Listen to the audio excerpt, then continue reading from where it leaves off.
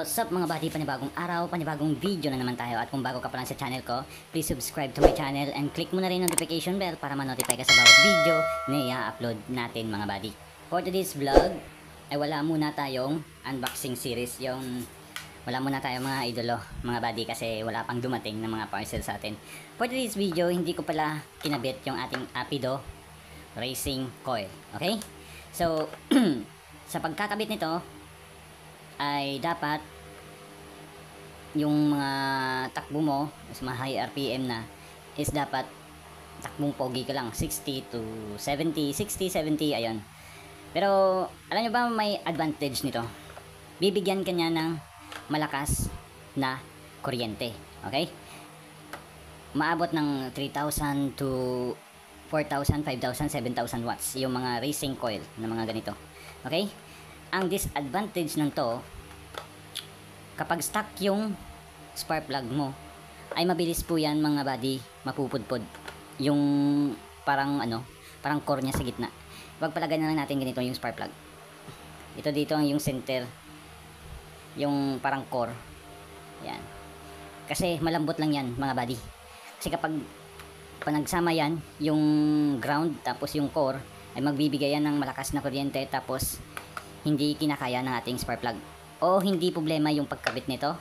Tatakbo pa rin yung motor mo, magbibigay ng performance, at ayun, big improvement sa motor mo. Okay? Ang disadvantage, disadvantage ng to is yung mabilis yung pagpudpod ng iyong mga spark plug. Kumbaga, mabilis yung mangitim or mapupudpod yung core sa gitna. Okay? So, hindi ko naman sinasabi na wag nyo nang ikabit pwede na rin na ikabit pero meron kayong mga isasakripisyo mga buddy. Kung gusto niyo naman na palagi kayong nagkakabit ng spark plug it okay pwede niyo itong gamitin.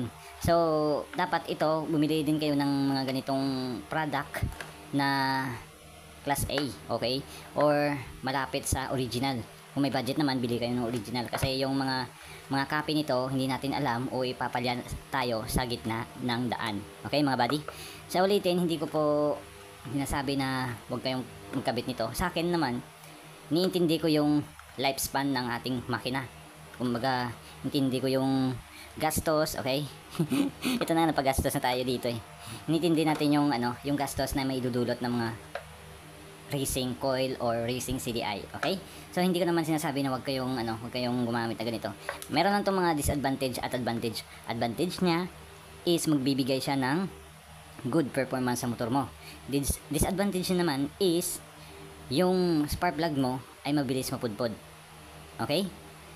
Yan lang po yung mga body tips ko lang. Kaya hindi ko to kinabit kay Red kasi inaalala ko yung motor natin, backup lang yung motor natin. Baka magka-problema tayo. Nilolong ride ko po yan mga buddy mula dito, Bacolod, pupunta sa Isabela. Okay? Isabela, Negros, Occidental ha. Hindi Luzon. Okay? So, ginagamit natin yan daily And then, ginagamit na din yan pag uwi doon sa aming bahay. Okay, yan lang po mga tips mga buddy. Ayan, maraming salamat sa inyong panonood and see you in next vlog. May unbox tayo pa para kay Project Bonjing, yung ating Yamaha RXT 135. So maraming salamat sa inyong panonood. Keep safe, ride safe mga buddy. And don't forget to like, comment, and subscribe para, eh, alam mo naman, para dumami yung ating uh, subscriber dito at umab- umabot na tayo sa 1,000 subscriber. Ayan, maraming salamat mga bati. See you in the next video.